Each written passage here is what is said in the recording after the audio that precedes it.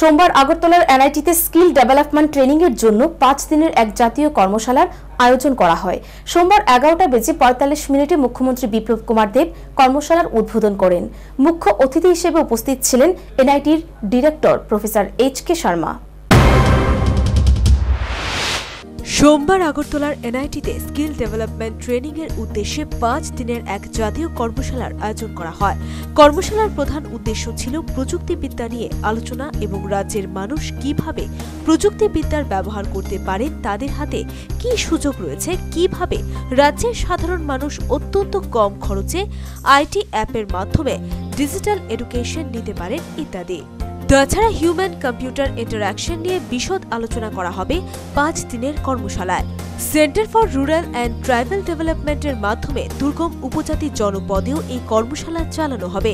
কর্মশালার উদ্বোধনী অনুষ্ঠানে ভাষণ রাখতে গিয়ে মুখ্যমন্ত্রী বিপ্লব কুমার দেব বলেন, তো স্বাভাবিক হ্যাঁ নয়া কুছ করনে কা ইহা শুরুয়াত হোনা চাইয়ে। তো यहाँ जो कार्यक्रम, जिस कार्यक्रम के लिए मेरे बुलाया गया है, ये ट्रेनिंग का एक कार्यक्रम है। एससीए मतलब ह्यूमन कंप्यूटर इंटरेक्शन उसके ऊपर एक कार्यक्रम है। आज शुरुआत है।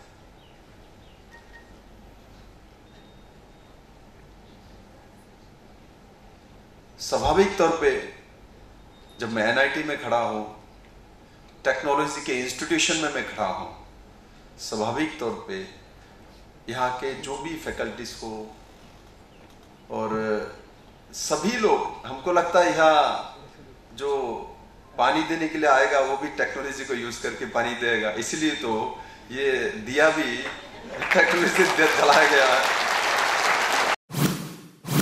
তিনি বলেন, কারিগরি বিদ্যার ছাত্ররাই বিশ্বকে নতুন কিছু উপহার দিতে পারে। Bureau report, news Vanguard.